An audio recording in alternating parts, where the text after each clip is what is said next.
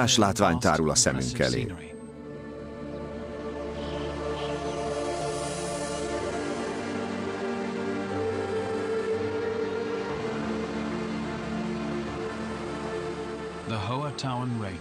Ez a Hohe-Tauern, az érintetlen természet kis szigete a civilizáció tengerében.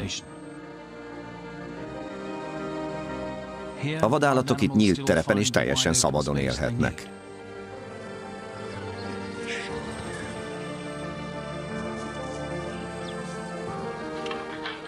A Hohe-Tauern Nemzeti Park a vadon egyik utolsó mencsvára a régóta megszelidített öreg kontinens szívében. Persze ez a történet sokkal régebbre nyúlik vissza.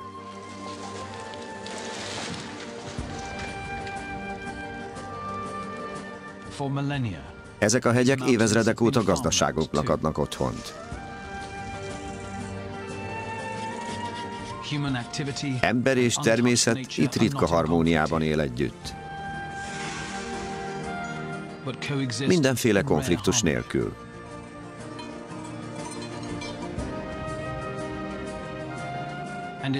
Ez a világszerte egyedülálló furcsa szimbiózis a Hohetauern valódi kincse.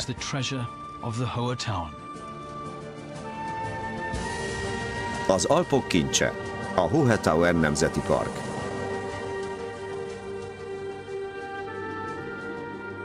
Az osztrák Alpokban található nemzeti park valóságos kincseskamra a természeti kincsek szempontjából. Találhatók például a keleti Alpok leghatalmasabb lecserei. Ausztria legmagasabb hegyéről, a Glosglopnerről csodálatos kilátás nyílik a csúcsokra. Ez Közép-Európa leghatalmasabb természetvédelmi területe. Körülbelül akkora, mint Nagy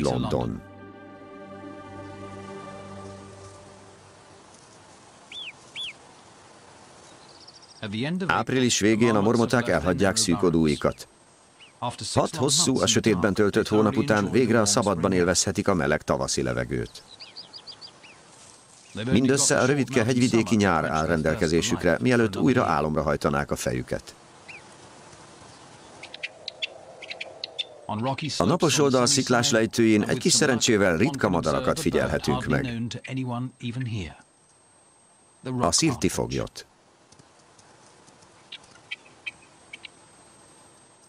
Főként a mediterrán régiókban őshonos. A Hohetauern a legészakabbi élőhelye. A szirtifoglyok általában rejtőzködnek, a meleg tavaszi levegő azonban még őket is előcsalogatja.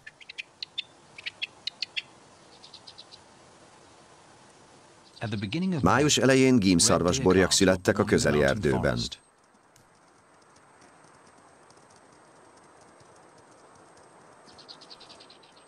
Néhány héttel az ellés után a szarvastehenek az erdőhatár feletti nyári legelőkre terelték kicsinyeiket.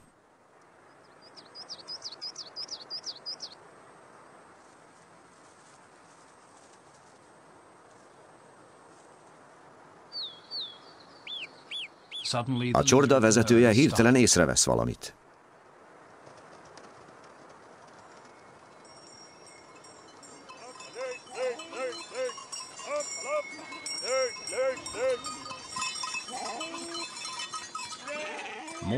A házi állatok csordái több mint nyolc hónapja hagyták ott az alpesi legelőket.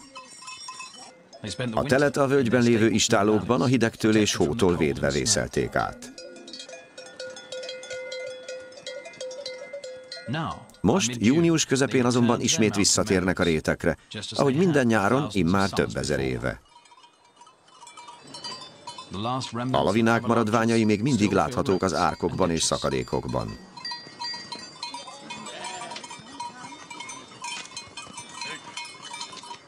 A nyáj szép lassan menetel az alpesi legelők felé. Nem ritka látvány erre felé.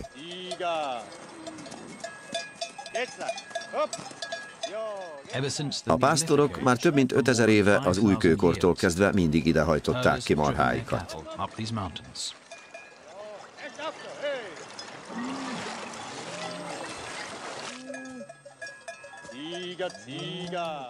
Nem sok minden változott itt azóta. Marhák, birkák és kecskék ezrei töltik a nyarat a Nemzeti Parkban.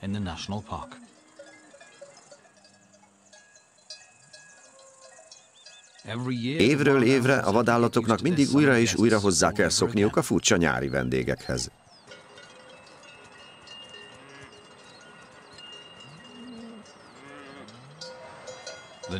Az új szomszédok hangosak és erőszakosak. Ehhez azonban hozzá lehet szokni. Így az alpesi réteken viszonylagos békében telik el ez a röpke három hónap. Meglepő módon a házi állatok egyáltalán nem rettentik el a vadállományt. Épp ellenkezőleg, a nyájak miatt a vadon lakói sokkal nagyobb részen élvezhetik a legelőket.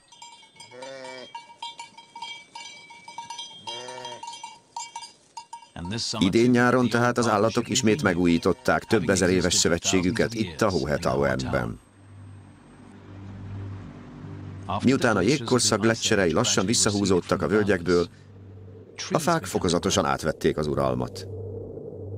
Egészen tízezer évvel ezelőttig sűrű őserdő borította a hegyek lankáit.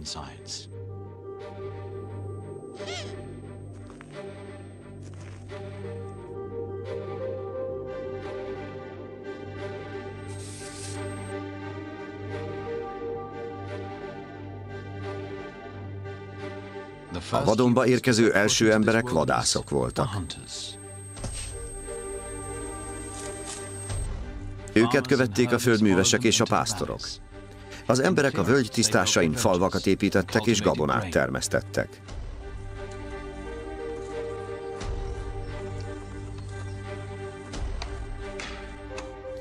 Az emberek egyre mélyebbre hatoltak a hegyvidéki erdőségekbe, a tisztások pedig egyre nagyobbak és nagyobbak lettek.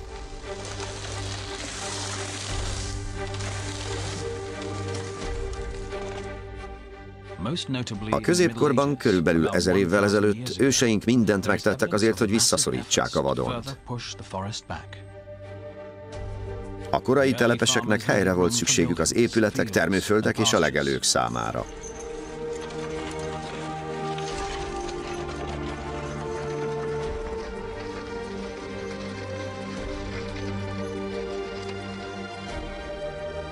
Az emberek ezt követően az egész hegyvidéket meghódították. Idővel a csúcsokról is visszaszorították az erdőséget, több száz méterre a természetes erdő határ alá.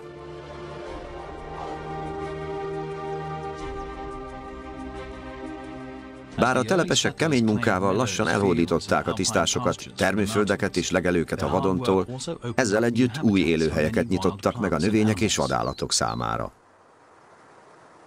A mélyebben fekvő füves területek lakói, akik eddig nem merészkedtek a Hohetauernre, mind követték az embereket a hegyvidékre.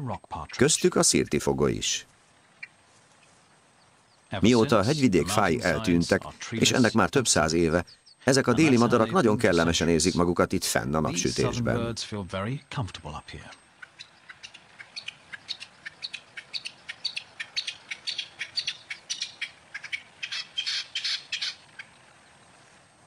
A sziltifogoly párok életük végéig együtt maradnak. Minden év májusában újra összejönnek, hogy kijelöljék párzási területüket.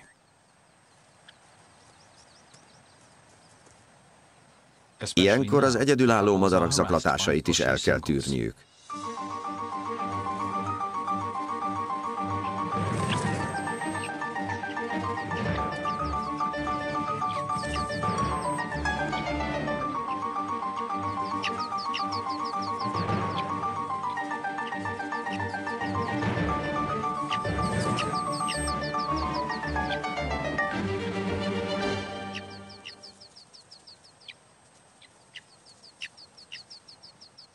Abban mindannyian egyetértenek, hogy párosan szebb az élet.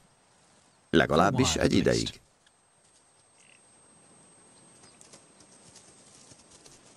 A mormoták és a szirtifoglyok ugyanazon a sziklás területen élnek. A szomszédok naponta keresztezik egymás útját, és jól ismerik már a másikat. Azonban néha nem árt, ha emlékeztetik egymást az erőviszonyokra.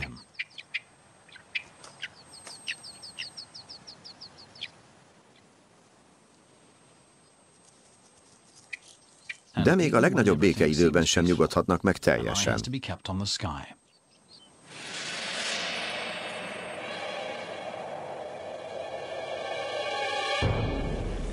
Ahol mormoták és szirtifoglyok élnek, ott a szirtisasok sincsenek messze.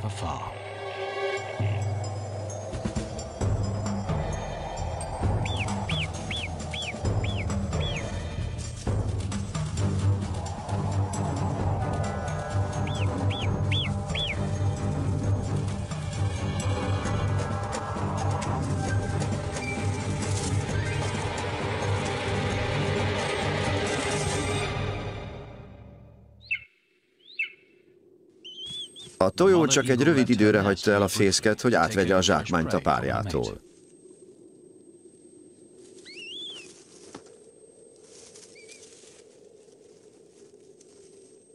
Amíg a fióka még gyenge, a szülők megosztják a felelősséget. A hím hadászik, a tojó pedig eteti és óvja a kis sas fiókát.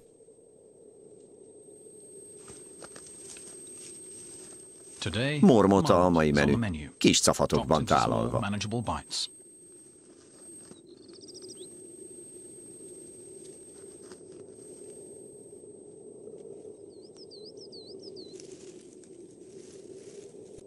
Ebéd után az anya leszedi az asztalt. A sasfészekben mindig rendnek kell lenni.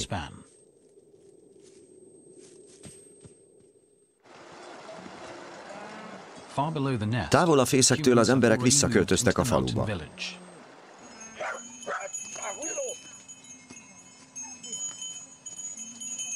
Az állatokkal együtt ők is itt fent töltik a nyarat.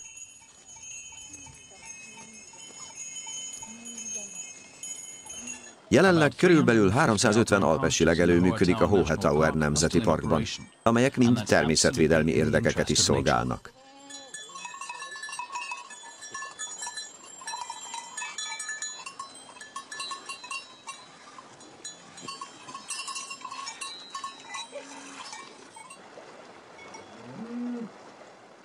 A Nemzeti Park központjában háborítatlanul élhetnek a vadállatok. A külső legelőknek azonban gondozásra van szükségük, ha fenn szeretnék tartani a hagyományos emberalkotta albesi tájképet.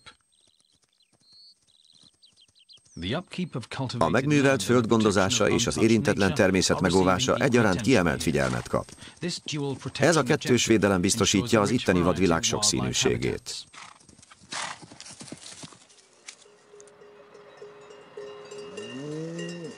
Az alpesi legeltetés megakadályozza, hogy a tisztásokat és réteket újra elborítsa a murva, a bozótos és a sűrű erdő.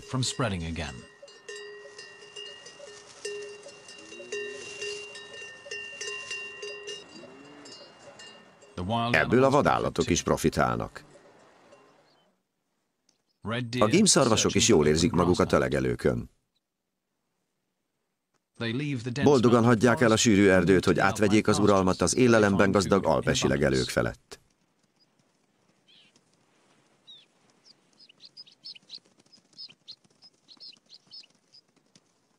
A szarvascsordák különleges nyári vendégeket vonzanak a Hohetauernre. A fakókesejüket.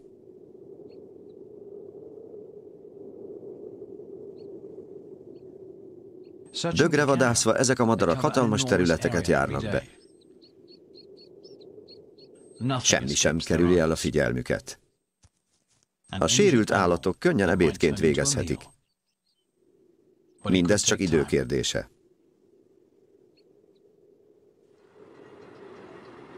A kesejükre emiatt egyáltalán nem a kapzsiság, inkább a türelem a jellemző.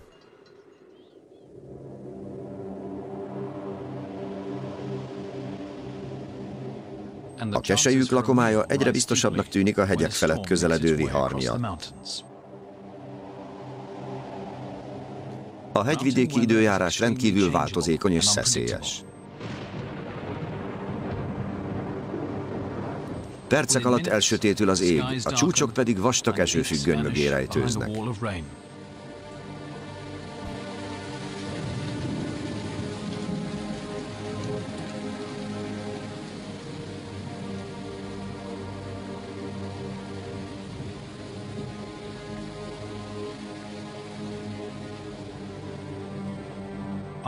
A vihar után sűrű köd borítja el a hegyeket.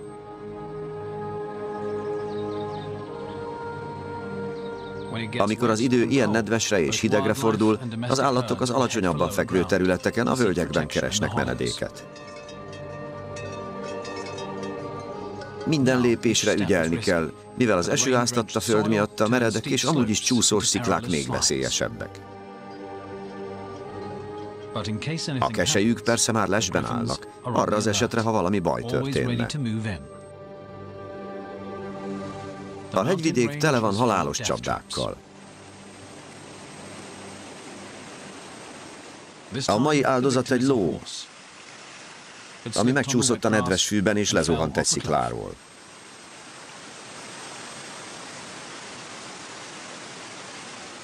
Nyaranta a hasadékokban gyakran tűnnek fel ilyen tetemek, amelyeknek nagy része a kesejük martaléka lesz.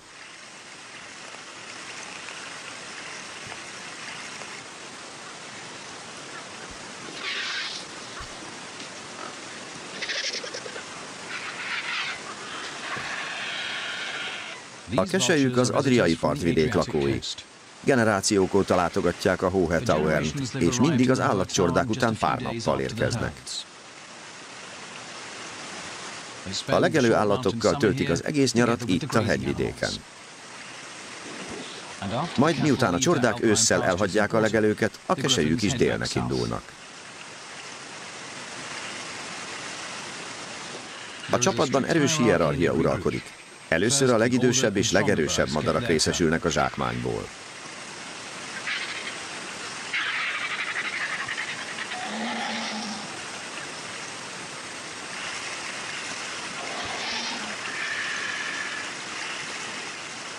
Egy keselyű egyszerre közel két kiló húst tud bekebelezni. Ezután néhány nap pihenésre van szüksége az emésztéshez.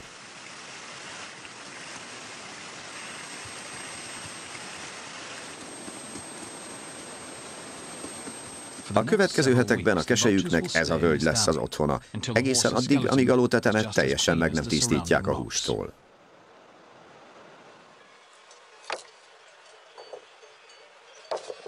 A hegyek között a nyár nem vakációzásra való, különösen vihar után. A réteket újra és újra meg kell tisztítani a kövektől és szikladaraboktól. Évszázadok óta így épülnek ezek a falak. Művészi, mégis egyszerű és finom építmények, amelyek kijelölik a telekhatárokat és menedéket jelentenek a vadon lakóinak.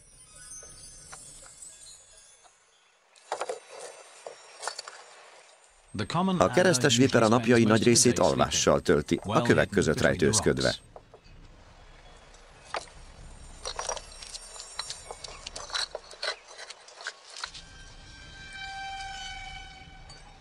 De hogyan tudna aludni ekkora zajban?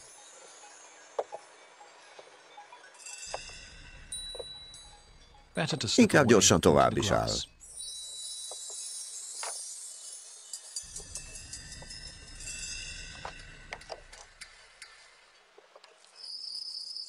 Az igazi nyár csak június vége felé köszönt be. Mire virágba borulnak a rétek, az új sziltifogoly fiókák is kikelnek.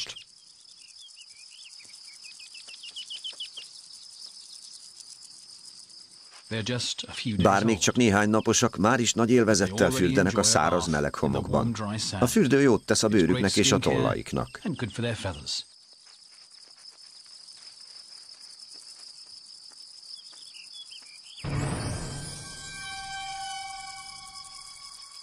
A keresztes vipera ragadozó és főleg egerekkel táplálkozik. De vajon megkönyörül-e a védtelen fiókákon?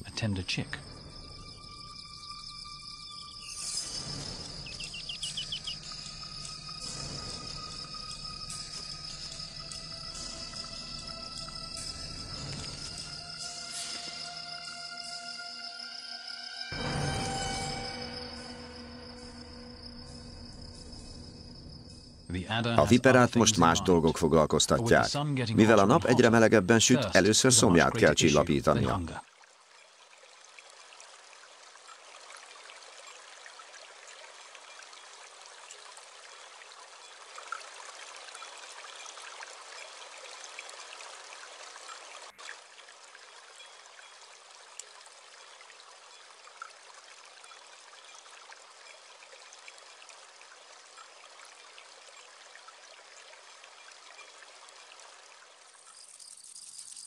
Nyár elején a rétek és legelők végtelen virágmezőkké változnak errefelé.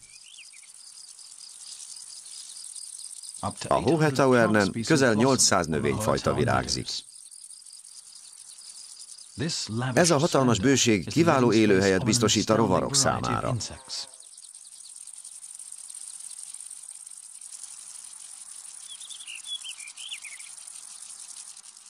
A Nemzeti Park lejtőin több mint 600 pillangófajta él.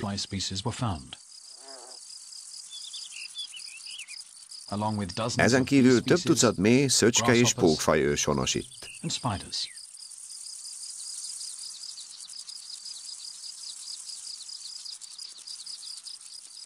A Hohetauern füves legelőin található a világ egyik legváltozatosabb ökoszisztémája, ami még az Amazonas őserdőivel is felveszi a versenyt.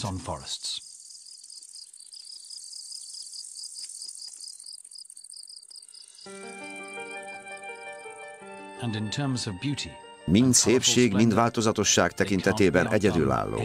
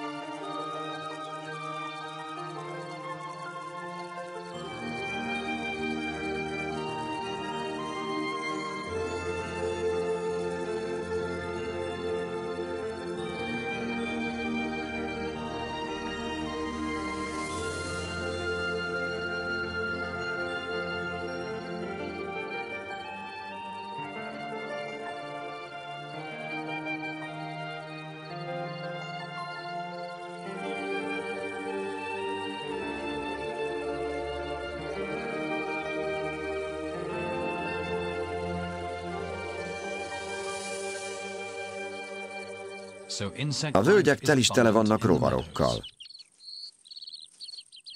Életük első pár hetében ezek jelentik a szirtifogolyfiókák egyetlen táplálékát. Jut bőven mindenkinek, persze a másé mindig finomabb.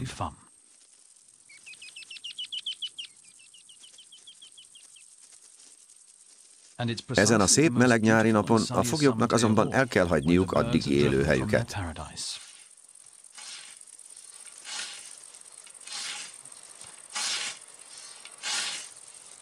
Ilyenkor július végén kezdődik a legelők kaszálása. A kaszák szinte táncot járnak. Bár a kaszálás első pillantásra rombolásnak tűnhet, valójában ez a sokszínűség kulcsa.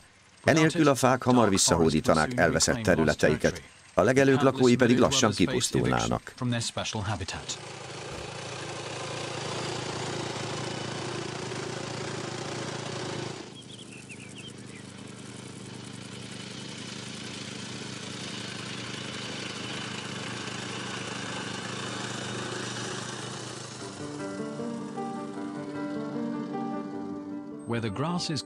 A legelők helyén századokkal ezelőtt termőföldek voltak. Azokban az időkben a Hohetauern völgyeiben még nem vezettek utak, ezért mindent itt kellett megtermelni, még a gabonát is.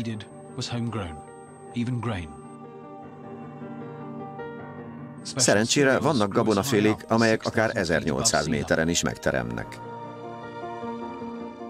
Az embereknek minden talpalatnyi földet hasznosítaniuk kellett.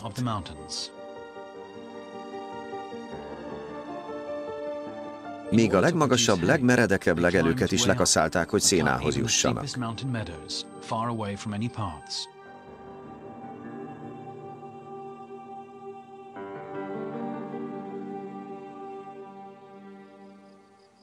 Erre azonban manapság már semmi szükség. A modern hegyvidéki mezőgazdaság virágzik és biztosítja a vidék sokszínűségét.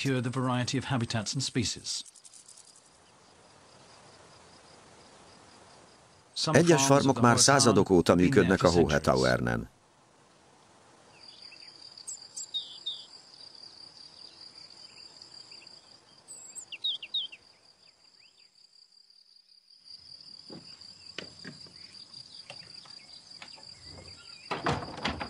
Ezek az öreg épületek nem csak az embereknek és házi állatoknak jelentenek menedéket.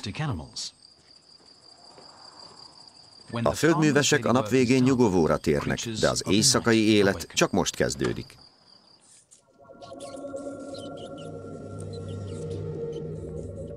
A száraz padlás ideális élőhely a denevérek számára.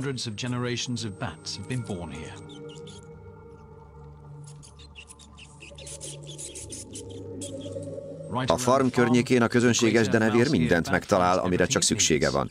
Menedéket a ragadozók és a viharok elől, valamint bőséges élelemforrást a környező legelőkről.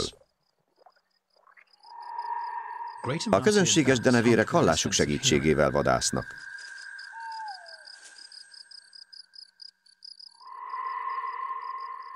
Az éjszakát fürkészik élelem után kutatva.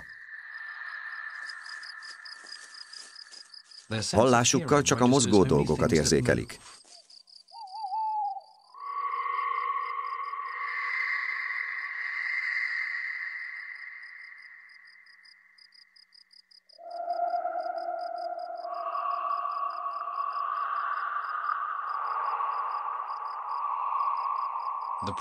Prédájukat a levegőben azonnal el is fogyasztják.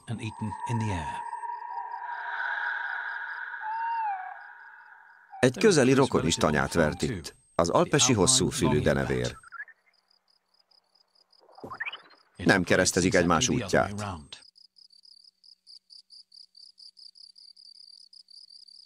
Az alpesi hosszúfülű denevér ultrahanggal vadászik, és mindig ugyanazon a helyen fogyasztja el a zsákmányt.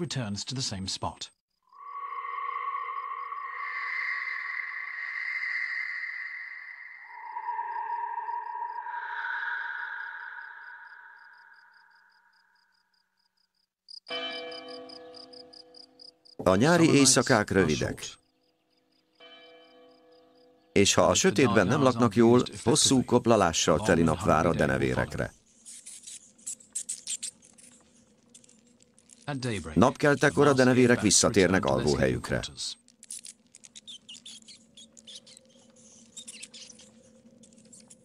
Nagy rend és fegyelem uralkodik itt. Minden állatnak külön helye van. Amint a denevérek nyugovóra térnek, új nap kezdődik.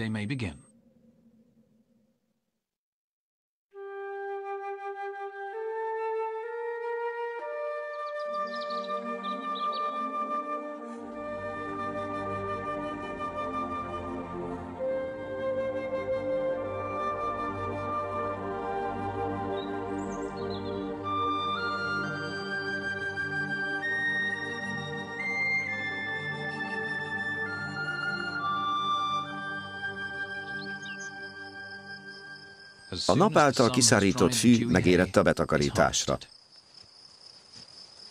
A szomszédok mindig kisegítik egymást. Egyedül nem sokra mennének itt fenn a hegyekben.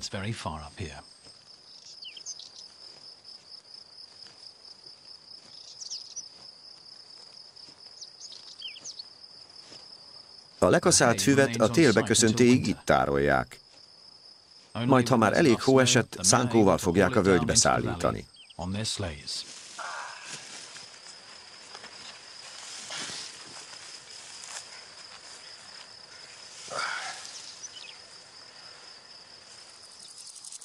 Vajon kitől leshették el az emberek ezt a módszert?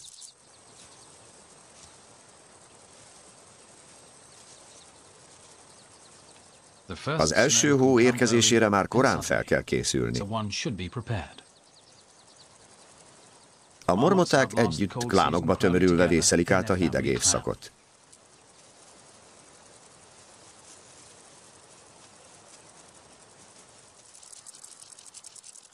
Télen nem hagyják el az odút. Szorosan egymás mellett alusszák fél éves téli álmukat.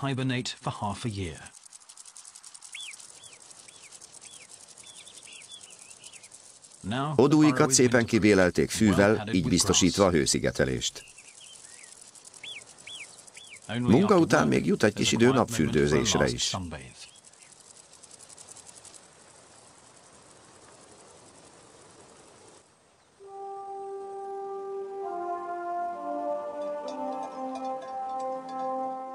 A hegyekben már szeptember elején beköszönt az ősz. Az embereknek és állataiknak hamarosan el kell hagyniuk a legelőket.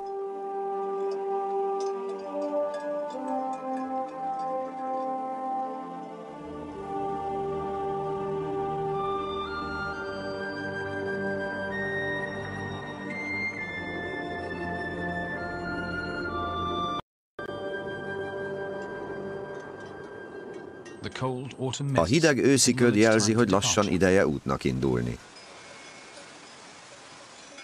A pásztorok virágot tűznek kalapjukra. Ez a hála jele, mivel idén minden gond és baj nélkül telt a nyár.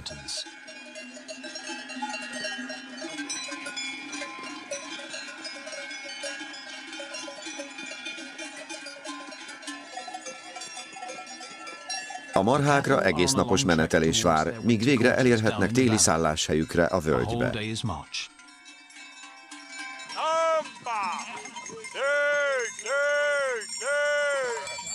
A birkák sem szívesen hagyják el a dús legelőket.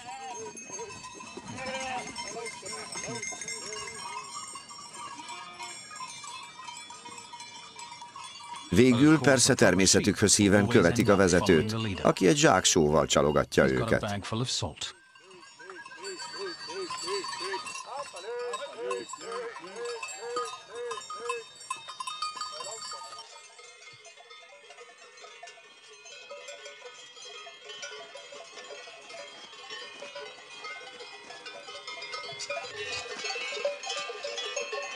A Klimmer Tauern teheneit már nem kell ennyire noszogatni. Jól ismerik a Dél-Tirolba vezető Tauern hágót.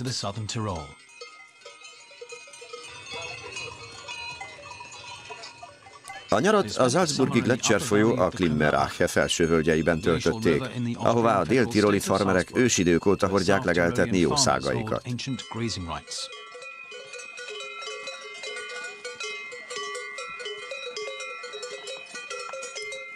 Az állatcsordák már évszázadok óta járják a Krimler Tauern hágóit, ami egykor az Alpok fő kereskedelmi útvonala volt.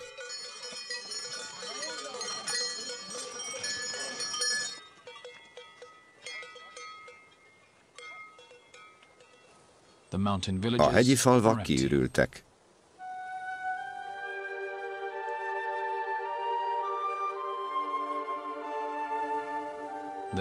A nyár már csak múló emlék.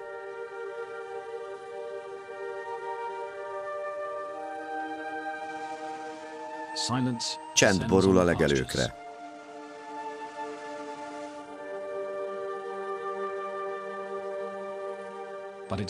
Persze ez sem tart sokáig.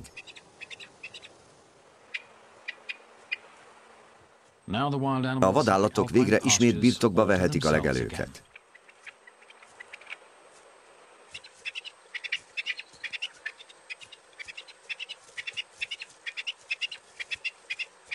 A hím szirtifogoly az egész nyarat magányosan töltötte, nem vett részt utódai nevelésében.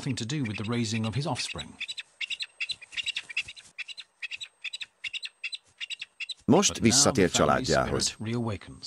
Vajon csak a szükség hajtja, vagy apai érzései élettek fel benne?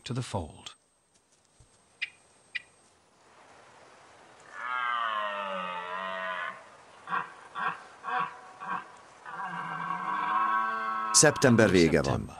Az erdő hirtelen életre kell. A szarvasok előbújnak rejtekükből.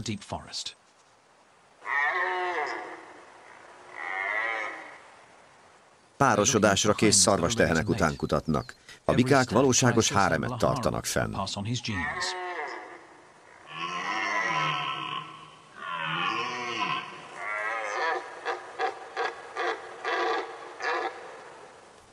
A fiatal szarvasbikáknak esélyük sincs. Csak az idősebb, nagyobb hímek párosodhatnak.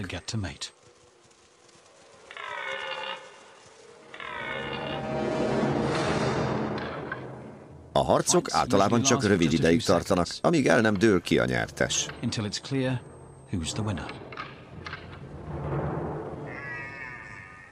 Néha azonban a dolgok komolyra fordulhatnak.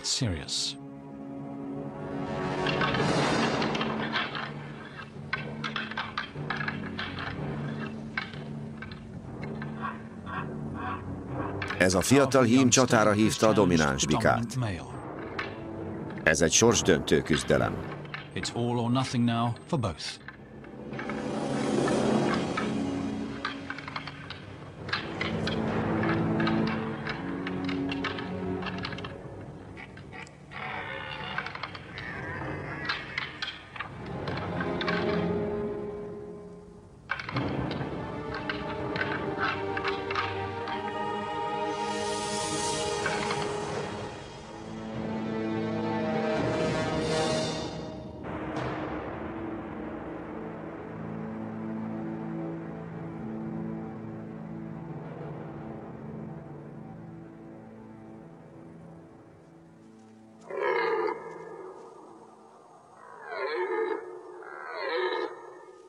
Végül az idősebb hím győz, így ismét esélyt kap génjei átörökítésére.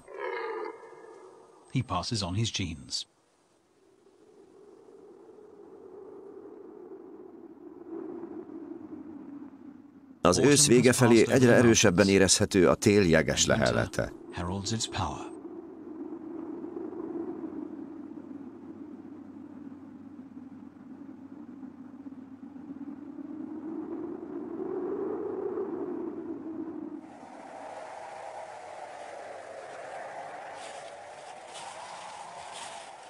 A farmerek még egy utolsó gyűjtőkörútra indulnak a hegyekbe.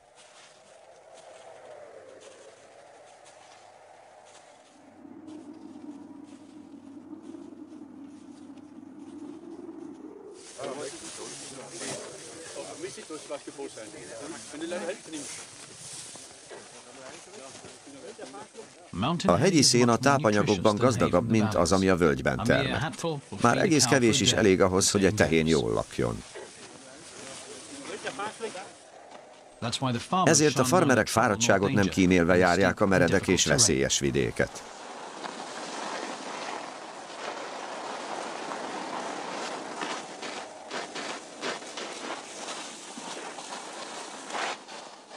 A szénát a hegyvidék nagy ajándékának tekintik, és szinte ünnepi menetben szállítják le a völgybe.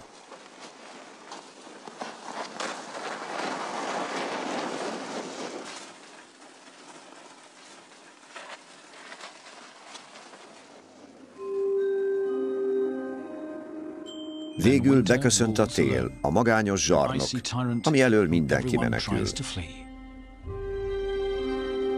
Mindenki? Az ergék még ilyenkor is kitartanak.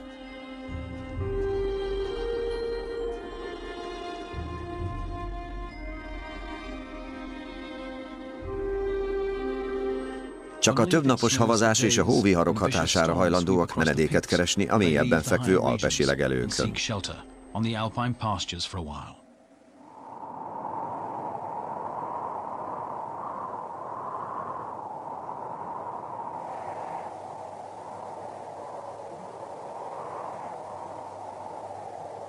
Az ergék párzási időszaka épp a tél kezdetére esik.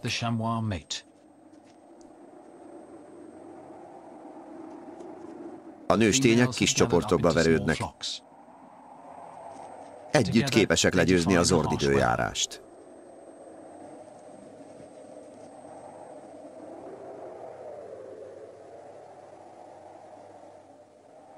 A bakok megküzdenek a párzási jogokért.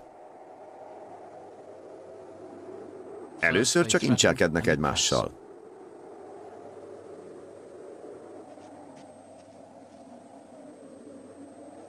Végül az ellenfél rátámad riválisára, aki vagy szembeszáll, vagy megfutamodik.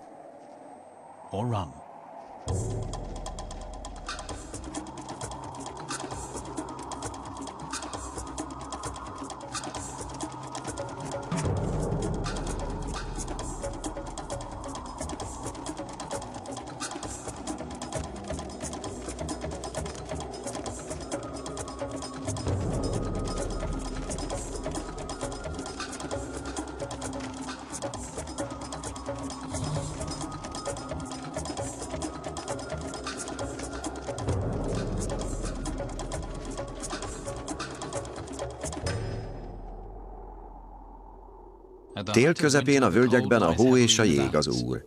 A következő hónapokban egyetlen napsugár sem éri a mélyebben fekvő területeket.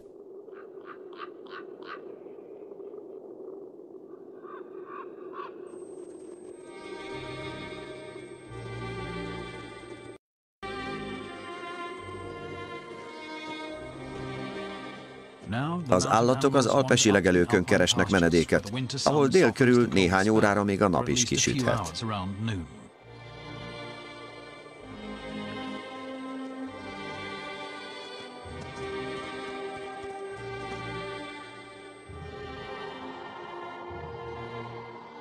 Fent élelmet is könnyebben találnak, mivel a viharok megtisztítják a sziklahasadékokat.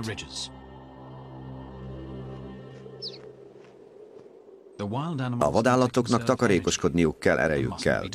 A Nemzeti Parkban ezért élelemmel és pihenőhelyjel ellátott védett területeket hoztak létre a számukra.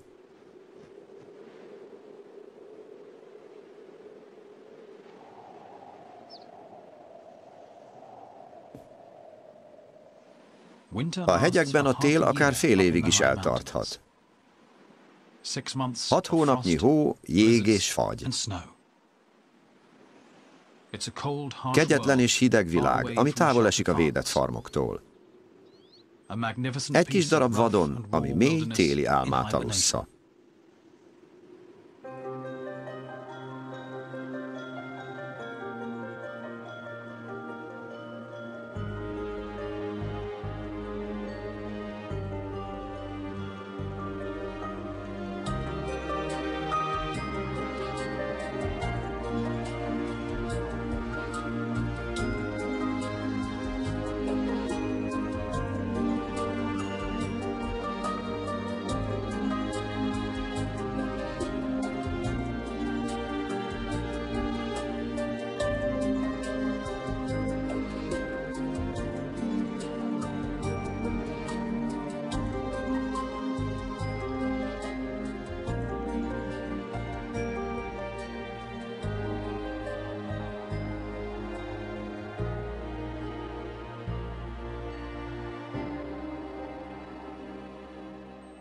Télen nincs is barátságtalanabb hely egy elhagyatott hegyi házikónál.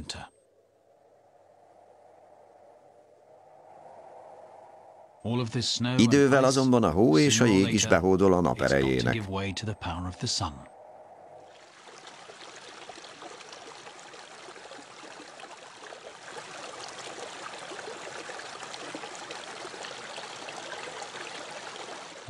A hótakaró alól apró nőszírmok ütik fel a fejüket. Majd a szellőrózsa és a körömvirág is előbújik. A virágok azonban még csak a tavasz színpompás előhírnökei.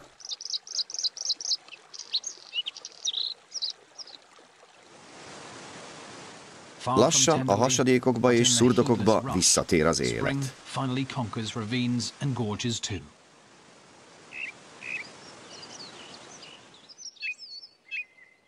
Az alpesi rózsák virágzásakor pedig a farmerek is visszatérnek a Hohetauernre. Először is megtisztítják a legelőket a törmeléktől és a cserjéktől.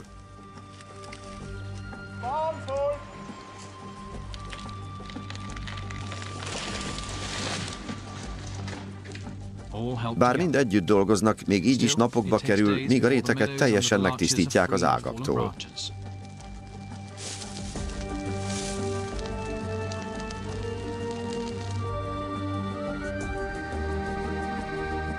És ez így megy már évszázadok óta, minden év tavaszán. A legelő végre készen áll arra, hogy fogadja a csordákat. Amíg a farmerek továbbra is az alpesi réteken legeltetik nyájaikat, a Hohetauer Nemzeti Park sokszínűsége biztosítottnak látszik. A vadonlakói békében élhetnek a legelésző házi állatok mellett. Ez az évszázados szövetség, ami a Hohetauer valódi kincse, nem csak gazdag múltra tekinthet vissza, de úgy tűnik fényes jövő előtt is áll. Operátor Epres Attila. Magyar szöveg Kökény Pál. Hangmérnök Ördög Rihárd. Gyártásvezető Boskó Andrea.